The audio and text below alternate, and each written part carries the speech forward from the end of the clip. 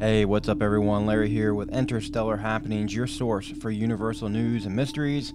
Guys, I have a very strange video for you today I'm still trying to figure out. Found on MUFON, the sighting report case 133856. It's a very unique sighting you don't come across on MUFON, but every so often. This incident occurred within the state borders of Kentucky on September 9th, 2023.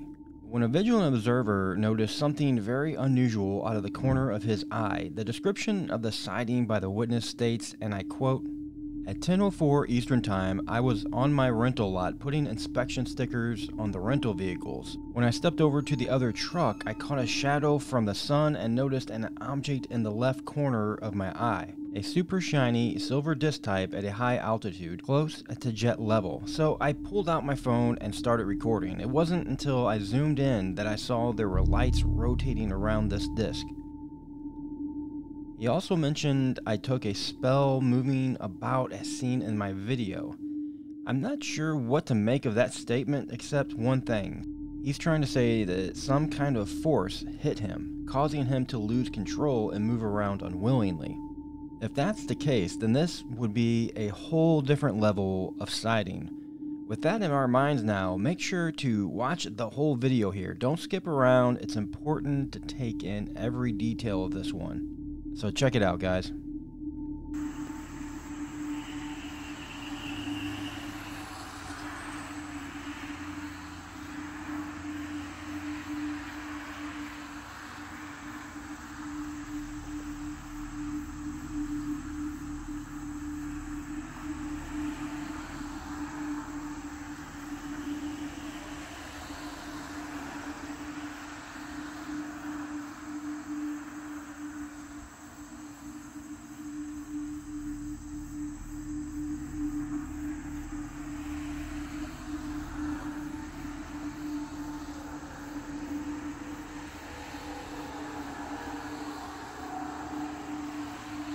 Appears to be more erratic.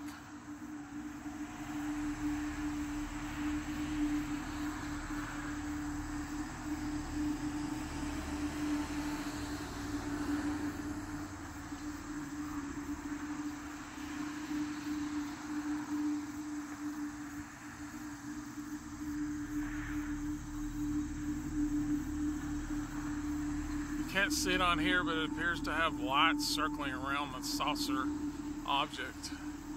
Now, my first opinion, probably like many of you out there, was thinking, well, you know what, this just doesn't give any context. It could be a reflection in a pool or really anything.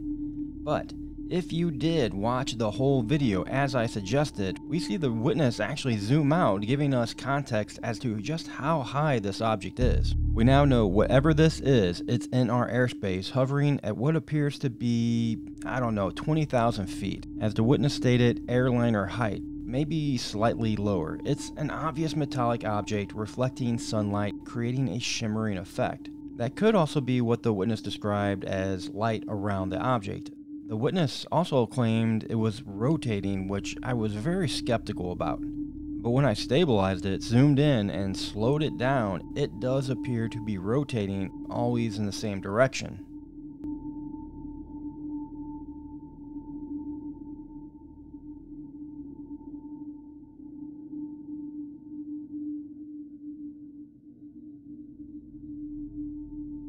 It has a thin, long shape, but when I snapped some screenshots here, unlike any airliner, I could make out an actual saucer shape.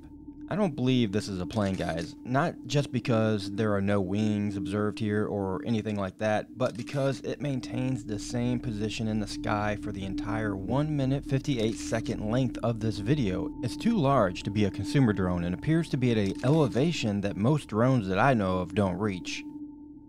What we have hidden in the vault over at Skunkworks is anyone's guess, but it doesn't appear to be anything I know of in the military inventory. This definitely falls for me into the unidentified flying object category.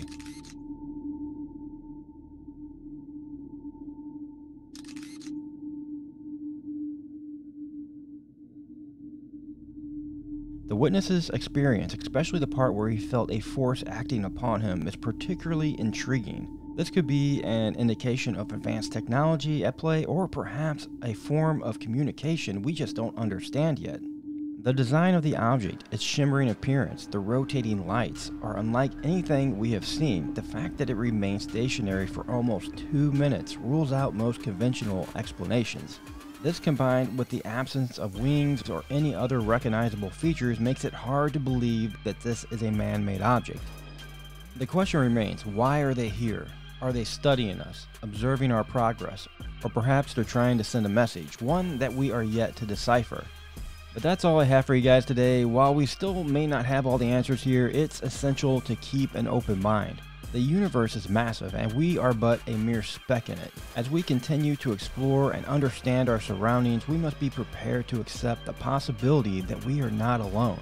And as we look deeper into the mysteries of the universe, we must remember to always seek the truth, no matter how far fetched it may seem. So keep your eyes on the skies, your camera ready and steady. I'm Larry. This is Interstellar Happenings signing off. Take care, guys.